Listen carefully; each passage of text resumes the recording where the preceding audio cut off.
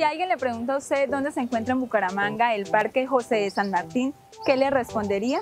Acompáñame a saber qué piensan las personas y a conocer de este maravilloso lugar. Eh, no, el Parque José San Martín, la verdad, por el nombre no, no lo reconozco mucho. El Parque José San Martín, la, la verdad no, nunca he escuchado de él, no, no conozco nada de él. Eh, muy buenos días, el Parque José San Martín creo que es donde estamos nosotros, que es ese parque, es lo que tradicionalmente eh, está catalogado como Parque Las Palmas. Yo sé que es este, este parque, que es muy bonito para uno descansar y, y debajo de estas palmas y todo tan bonito, sí. Al menos uno pasa su tiempito ahí. Yo soy un tipo que, yo soy recreólogo, conozco los mejores parques, inclusive la flora. Yo estoy en la negociación, pero ese parque no lo conozco. Y de verdad este parque es muy hermoso, muy de todo, porque es muy, atrae mucho a las personas.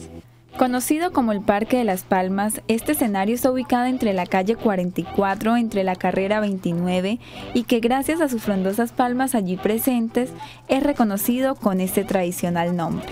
Hay que tener presente que aquí se sembraron palmeras de Bismarck, originadas de Madagascar, las palmeras de sagua o cola de pescado, las palmeras pacayá y la palmera real de Cuba, las cuales terminaron por volverse más popular que el propio José de San Martín.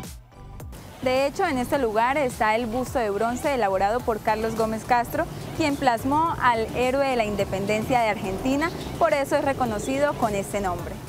Hoy el parque sigue manteniendo su arquitectura, salvo que sus palmeras han crecido considerablemente.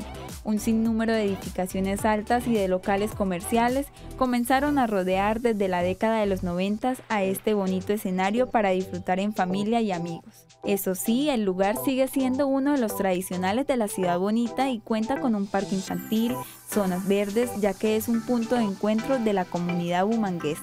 Bueno, me despido desde el Parque José de San Martín, más conocido tradicionalmente como el Parque de las Palmas.